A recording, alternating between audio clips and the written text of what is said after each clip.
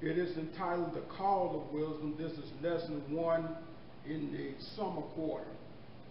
Now, first of all, we want to be able to distinguish what wisdom is. And ever since I've been uh, a little boy, I've always tried to read, to understand, and apply words in a way that I can understand them. Now, there's a formal definition of it, but basically, what wisdom is, it takes instructions, and through the aid of the Holy Spirit, it teaches you how to apply those instructions in day-to-day life.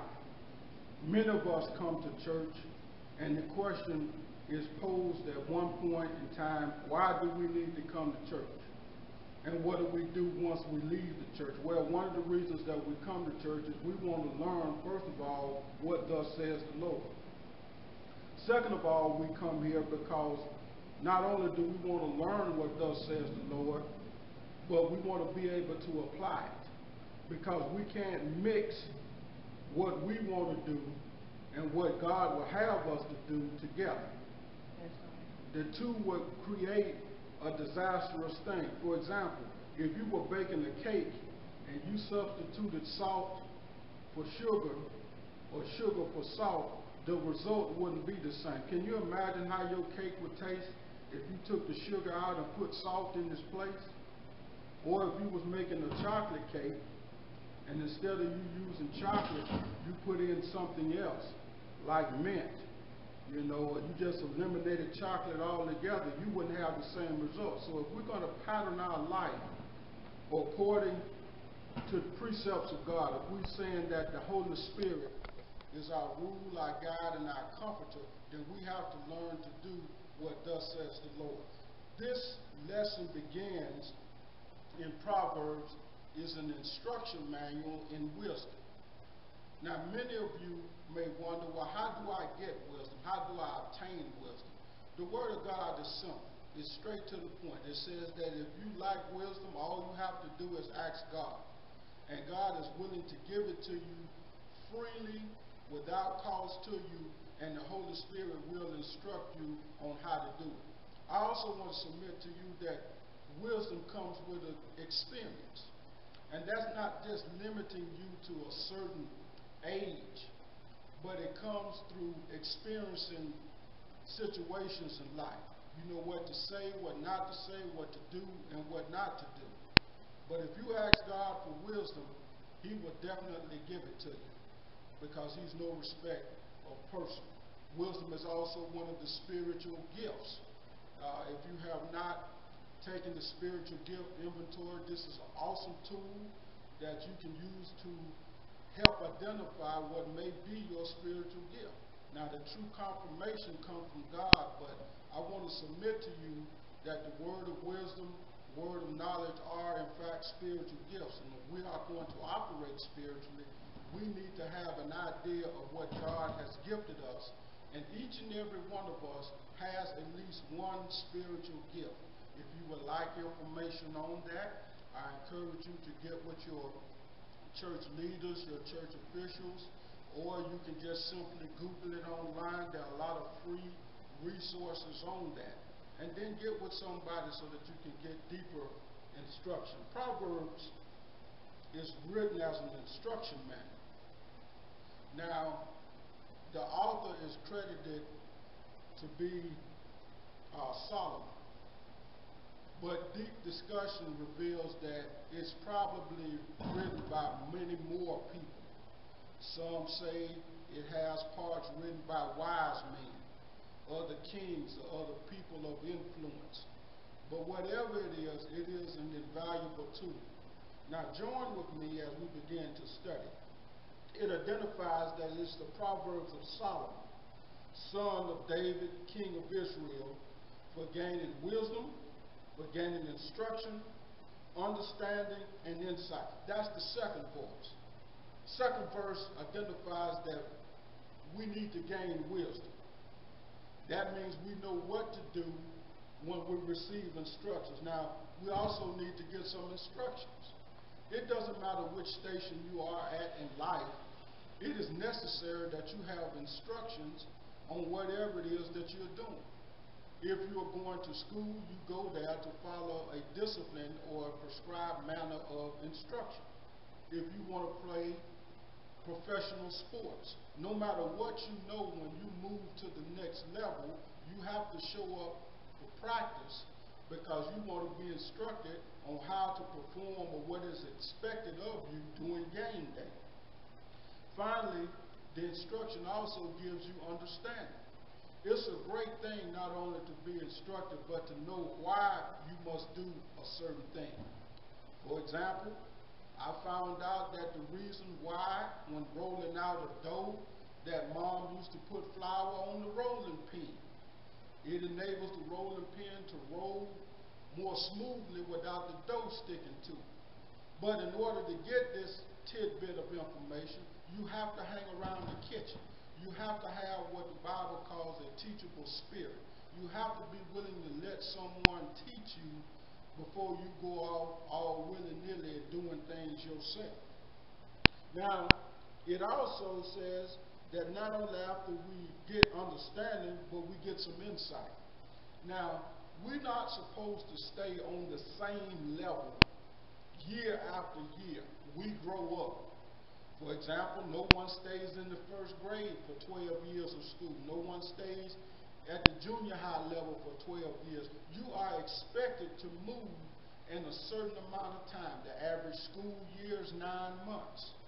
The average college curriculum is four years. Some can finish in three, some take five. But the standard is that you finish what's known as a four-year degree within that time period of four years. It stands to reason that when we come to church, we should be growing. This is the reason why we have Sunday school, why we have Bible study, why we have all the different types of auxiliaries, so that we can get this instruction, we can get insight, we can get wisdom, and we can get understanding. Not only is it important for us to get these things, but as we look at the fourth verse, it gives us prudence to those that are simple knowledge and discernment and discretion to the young. Now, what does that mean? It gives us some bounds to follow. It stops us from just doing and saying what we want to do and say. For example, if you're driving down the road, there's a center line. Some lanes are marked by a dash line. Some lanes are marked by a double yellow line. Some lanes permit you to cross and change lanes and move from one area to another. Some lanes you have to stay in. You have to be restricted because if you cross over from your side to another side, you could very well cause an accident. Wisdom also gives us the ability to recognize when we are gone wrong, when we have made a mistake. Now, if you're under the sound of my voice this morning, I want to submit to you that the Word of God says all have sinned and come short of the glory of God. How do you know when you made a mistake? How do you know when you need to ask God for forgiveness? Well, there's something within you called the Holy Spirit. Some people refer to it as a spiritual check. Sometimes when you do things, regardless of whether you know that they are right or wrong or indifferent, something goes off inside you that says, maybe I shouldn't have said that. Maybe I shouldn't have thought that. Maybe I should listen before I speak. And when you get that spiritual check, it's a good time, it's a good idea to pray about that thing because now God will begin to give you wisdom and instruction on it. Later on in the lesson, I want to share with you how circumstances can lead us to make unwise decisions. The seventh verse says that the fear of the Lord is the beginning of knowledge, but fools despise wisdom and instruction. What does it mean, the fear of the Lord? Fear of the Lord in this case simply means that we have respect and reverence for God. We have respect and reverence for God's house for the people that he has placed in positions of leadership and authority, not only in the church, but in our household. Not only in our household, but on our place of employment. Not only on our place of employment, but our local officials, our government leaders. we don't have to agree with everything they say, but we have to carry our manner in a way that's respectful. The Word of God simply says that obedience is better than sacrifice. All of us that have attained at least a certain age realize that sometimes we are asked to do things that we don't necessarily agree in doing. Having served in the military, the oath of enlistment states that we will follow the lawful orders of the officers and the non-commissioned officers appointed over us. But I want to submit something more in detail to you. The way that you treat people when you are following their orders is the way that they'll treat you once you get to a position of leadership. And you need to be mindful that the word of God is true. You do reap what you sow. It's important that we stay prayed up. It's important that we be led by the Holy Spirit in how we do things.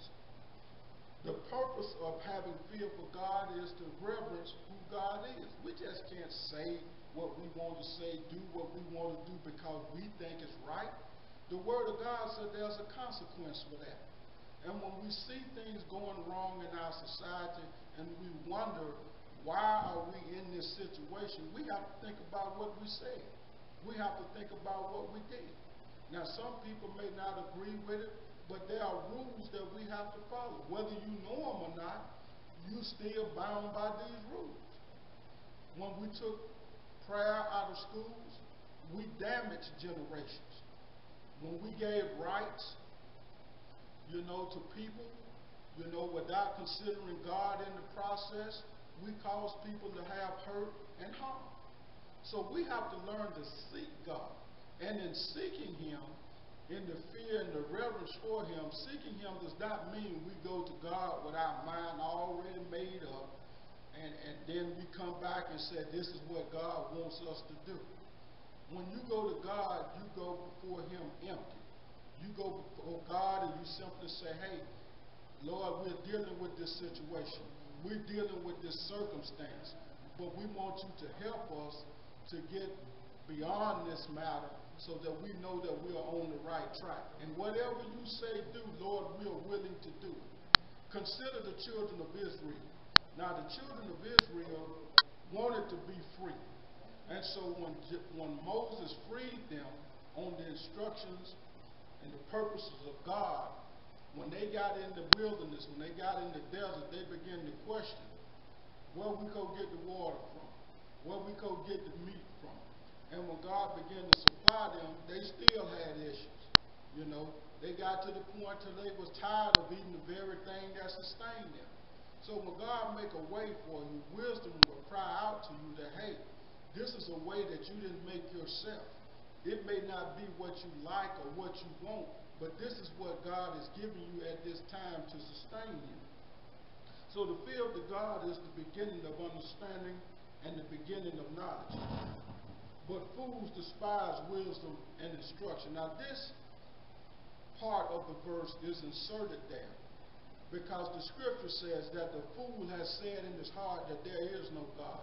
Have you ever talked to someone and you mention what God is doing and they conclude the, the conversation by saying, but God is not a conditional God. If he says he's going to do it, there is no but. If he says it's going to be, that's exactly what it's going to be. When you start to talk about God and you put but in the sentence or you have doubt in your mind, that is a sign of disbelief and unbelief. The word says that fools have already said that God does not exist. And what it, what it means is that not only are they saying that God don't exist, but the problem is bigger than God. I want to submit to you. Yes, there are some things that's hard in life. There are some things that's difficult in life. But there is no problem, no circumstance, no encounter that you could face that's bigger than God. If God don't have the answer, then the answer don't exist. So we have to learn how to trust him how to depend upon him even in the most difficult of times. It says, Listen, my son, to your father's instruction, and do not forsake your mother's teaching. Now, this is a Old Testament scripture, but it has New Testament implications. The Word of God says, Honor thy father and thy mother, that thy days may be long upon the earth. The reason that it says this is because it is the roadmap, it is the prescription, it's the sowing pattern for your life. The reason that they want you to honor thy father is because the father gives instruction. The father is the one that provides the covering for the household. The father is the one that tells you, yea, son, if you do A, B, C, and D, you can get this. When you get off track, as the prodigal son did, when you return back home, the father is the one that welcomes you back into sonship. Same relation that we have with our Father, our Heavenly Father. When we get off track, and the Holy Spirit urges and builds us back into place, into relationship, the Son is there, Father, to draw us back to the Father, back to the heart of the Father.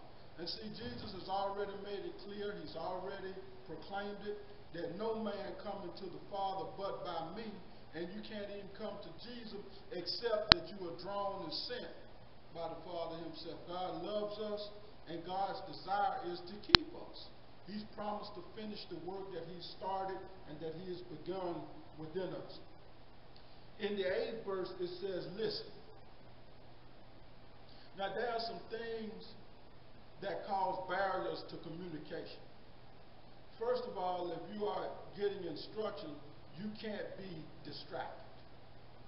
If you're in a classroom environment, you know you can't put your headphones on. You can't be next to somebody whose telephone is constantly ringing. You can't come to class not prepared, not having the pencil, the paper, the textbook, the notes, if you want to get instructions. Being able to listen means that you focused on what's being said. Being able to listen means that when you come to church, you have your Bible with you, or you're using one of the Bibles, or you're writing down notes so that you can get the most out of the sermon that's being taught. It says, My son, listen to your father's instructions, and do not forsake your mother's teaching. And it puts together a one two punch here. There are some things that the father teaches, and there are some things that the mother teaches. You can't negate one and place the other above. It takes them both to be together. Now, in some households, there are both parents within the household. Some households are single parents. Okay? Some households, you get instruction not only from the parent that's within the household, but you get instruction from other adults that you encounter throughout life. There were a lot of men and women that influenced me when I was growing up. And I was learned, I taught, I was taught to rather listen to them, to respect them. And guess what? I found out that each one of them gave me a piece of wisdom, a piece of knowledge, a piece of instruction. And it enabled me to be able to go on this journey, this thing that we call life. It says, My son of sinful men entice you. Do not give in to them. If they say, Come along with me, come along with us, let us let us lie in wait for innocent blood, and let's ambush some harmless soul. Now, this is interesting because it describes something here when you when you do the historical analysis of the text called brain bridge or Bain bridge.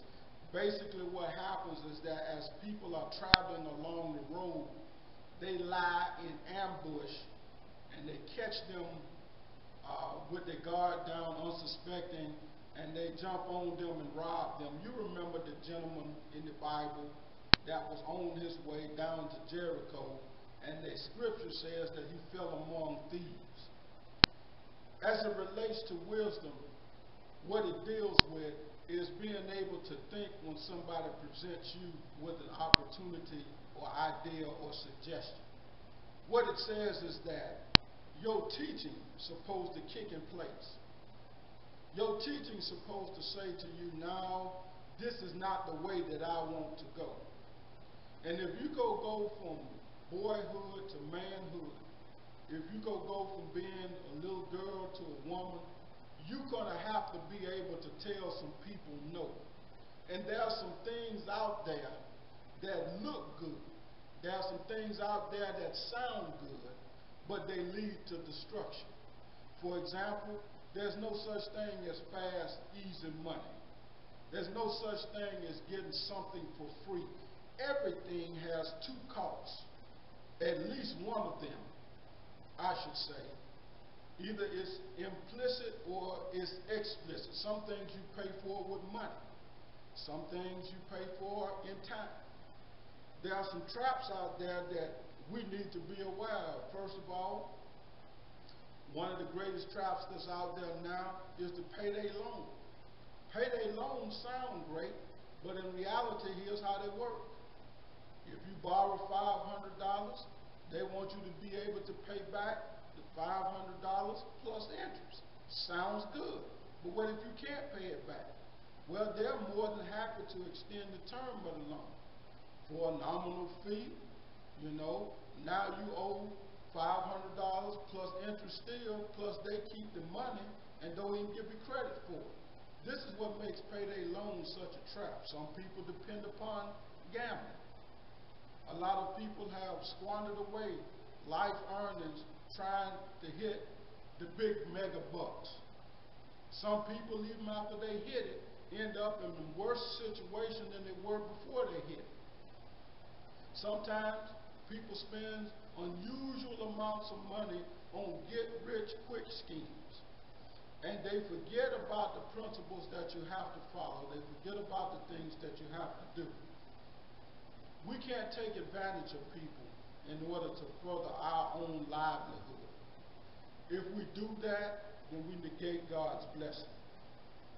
So we must be able to think, we must be able to examine situations. It says, Now wisdom cries without, she utters her voice in the streets. Now, this is a term in literary we call personification. Personification basically means we give human like attributes to something that's inanimate, something that's not human. Because we know that wisdom is not an actual person, but we're saying that the call for wisdom, the need for wisdom, God's desire for us to have knowledge and understanding and instruction is a cry. God does not want us to stay on the level and just shrug our shoulders at life circumstances saying we know to everything that comes about. Okay? So when we get this instruction, when we get this teaching, then we are able to make the decisions that we need to make. When we get the knowledge that we need, when we understand the way that we should go. The Bible says it like this that there's a wide path and then there's a narrow path. But what wisdom does, what instruction does, what teaching does, tells us that it's better to stay on the narrow path where there are few travelers than be on what's known as the highway to hell. But we have to have to be careful about these things. We have to be careful about the choices that we make it says that on the top of the wall she cries out. As the city gates, she makes her speech. Verse 22. How long will you who are simple love your simple ways? How long will mockers delight in mockery and fools hate knowledge? Want to share something with you. Three people are identified, three specific people. These three people are identified as markers.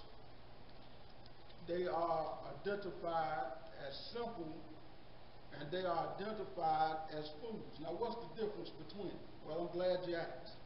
He said the simple are naive ones who are spiritually immature and unguarded in their minds. They are influenced and they are easily led astray by those who do not have their best interests in mind. Now, the Word of God calls these uh, simple people. See, this is why you cannot neglect your spiritual growth. The Word of God said the purpose for believers coming to church is so that they can be equipped, they can be fortified, they are able to stand, and they know. Because, see, everybody don't have your best interest in mind. Every, everybody ain't looking out for what you're looking out for. Then it says they are the mockers or the scorners. Now watch what it says. It says they reject and despise what is holy. And in their pride and in their arrogance, they deem themselves above spiritual critique and wise advice.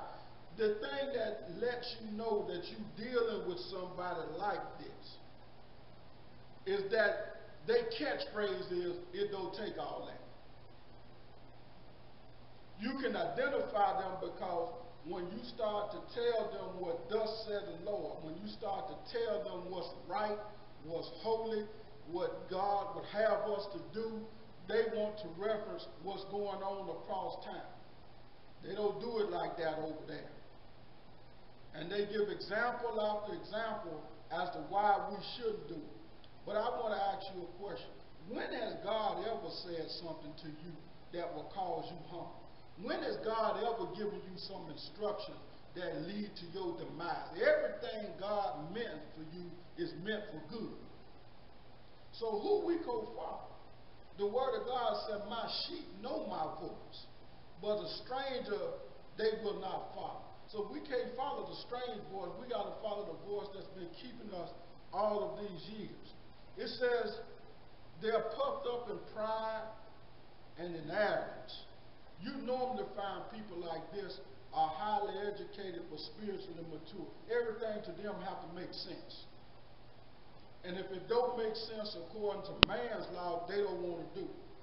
Okay? People like this will never walk on water. They'll never believe in, in healing. They'll never believe in deliverance. They'll never do the greater works that Jesus promised. Because everything has to make sense to them. Nothing is spiritual everything is carnal. But if you go operate on the spiritual plane, then we have to try God at His word. This is what made Peter so unique. Peter resolved within himself, Lord, if it's you, bid me to come. I know it don't make sense what I'm seeing. I'm seeing that you are walking on water. That don't make sense to me, but I want to be sure for myself. So if it's really you, I know you got the power to go beyond my carnality. I know you got the power to put me on the supernatural plane. Some of us are limited because we don't want to get out the boat. Even though we have an open invitation, we want to stay where we are. Consequently, this is why it takes some of us so long to get to the places that we desire to go because we spend a whole lot of time just trying to figure it out and work it out on our own recourse. It says, finally, we deal with some people that they call the fools. It says, fools hate knowledge because both true knowledge and godly wisdom expose corruption. Now you got to watch this now. First of all, the Bible issues a warning. It says, the fool has says in his heart that there is no God. We talked about that. Then the Bible says we're not supposed to call anyone fools. So whosoever do so is in danger of hell's fire. To put a person on a level of being a fool endangers not only their soul because you're speaking a word curse on them, okay, and you are also contradicting what the word of God said. So if fools according to the scripture, devalue wisdom, okay, because it goes against the flesh, then we put them in a bad situation. We joke about it all the time. We get around our friends oh, girl, you ain't got no sense. You a fool. And you laugh and joke about it. But there's some characteristics that go along with being a fool. There's some characteristics that go along with being crazy. And if those characteristics don't line up with the way God will have you to be, then you shouldn't want any part of it. Okay? It said, uh, what makes them fools? And see, you don't have to ask a person how they are. You have to just watch them. Don't the word say you know a tree by the fruit that it bear?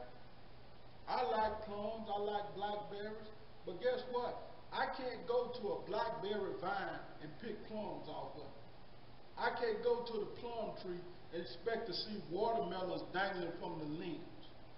So you know people by the fruit they bear. It ain't what they say, it's what they do. So when someone tells you that it don't make sense to them, you can't tell it. You've heard people say this, you can't tell me nothing. They made up in their mind who they go be.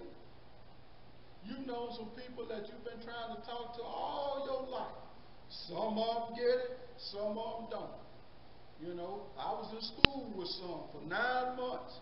They still stuck on page one. We get ready to go out the classroom, go to the next grade. They still on page one. So you got to watch it. You got to watch how you reject knowledge. You got to watch how you reject teaching. Some people got a certain teacher they got to have. But if you go go after knowledge, you got to be able to extract something from anybody that God has put in front of you. Even on your job, you don't have to agree with everything that your supervisor, your manager, your boss do. But they in position because somebody put them in position. God put them in position. And they're there to equip you in certain areas. And it's your job to give them the respect that they deserve. And when God get ready to shift you, then he'll shift you. So don't devalue wisdom. Don't always be led by the flesh. Now watch this. When you're spiritually immature, you can be easily influenced. What happened in Minneapolis, Minnesota is a tragedy. There's a lot of injustice. There's a lot of hatred. There's a lot of prejudice that goes along with that incident. But the Word of God said two wrongs don't make a right. You can't let people trick you into going out doing unlawful, ungodly things. For example, looting, rioting, killing innocent people, assaulting police officers will not bring Mr. Floyd back. The word of God said, vengeance is mine, says the Lord, and I'll pay. We learned in the military, I'm a veteran, that we have to use effective weapons. If we're going against soft structures, you know, we use things called mortars. If we're going against hardened structures, we use artillery, air strikes, or land strikes. We have to learn how to be spiritually violent. The Word of God says, as heaven suffers violence, and violence taketh by force. That's not physical force, that's spiritual force. We have to learn how to do what they did back in the civil rights era. Except this time, instead of marching in the streets, we're marching in the courts. We're marching to our governors. We're marching to our legislature. We're demanding that the same law that you hold us to, you use it to hold that these people that were in position you hold them accountable by the same standard. But don't let anyone trick you. And why is this a trick? And no one seems to grasp this. You know, sometimes they talk about, in my opinion, the wrong thing on TV. No one has said there's a corona, but every time there's a cure for coronavirus, but every time I see protesters, they out there and they ain't got no mask on. Every time I see them out there, they, ain't nobody testing, ain't nobody checking you're breathing in not only air of anger and of rage, but you forgot all about social distancing. You so wrapped up and tied up with what's going on, you forgot about the fact that it's an invisible threat that's out there. Now you're dealing with two enemies. Now you're dealing with injustice. You're dealing with hatred, racism, and you're still dealing with the invisible. So you got to be careful. You got to think. You got to be effective at what you say and at what you do. As we wrap this lesson up, it said, For the waywardness of the simple will kill them, and the complacency of fools will destroy them. Have you ever noticed it just takes so long to do some simple things, and then you see somebody that do the same thing that you was planning to do and they do it in a very short amount of time. And you ask yourself, why, why it take us so long to do that? That's baffling. Everybody want to be on the winning team, but no one wants to commit to the practice. No one wants to commit to the diligence. And what happens is we want God to bless us with this overflow. But we complacent in what we do. We drag our feet. Paul called them slow betters, you know, and you can read it in the scripture. I'm not picking on someone. I'm not trying to belittle anyone, but we got to be about God's business. He said that their complacency, the complacency of fools will destroy them. But whosoever listens to me will live in safety and be at ease without fear of harm.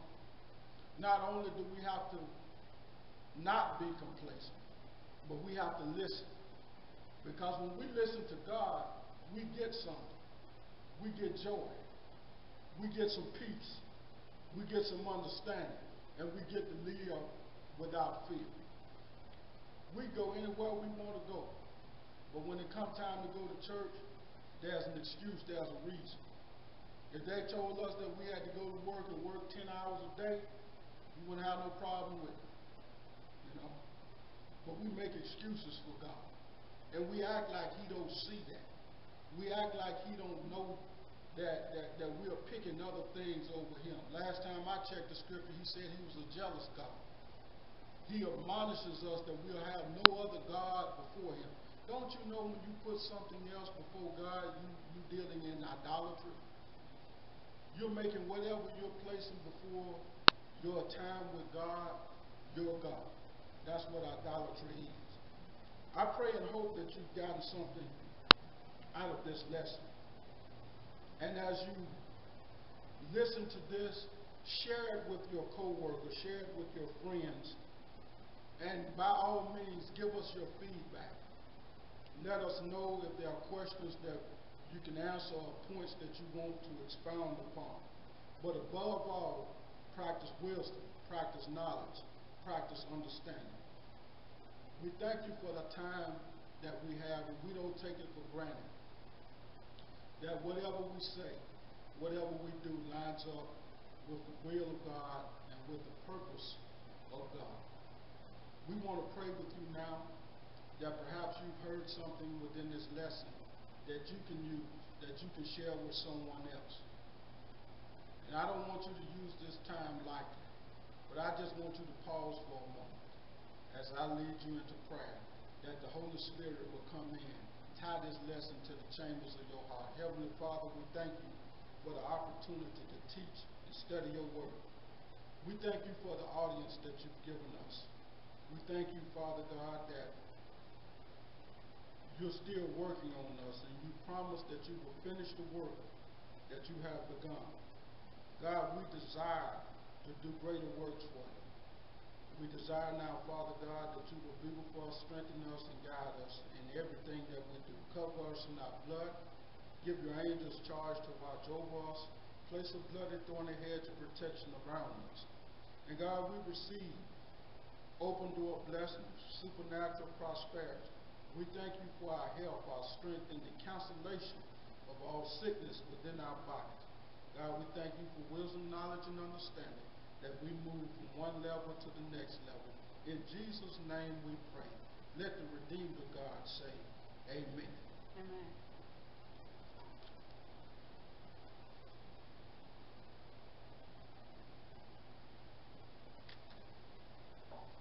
Amen. Our lesson was called The Call to Work to Wisdom, taken from Proverbs 1 1 and 33. It can be summed up simply if you lack wisdom, ask of the Lord. Amen.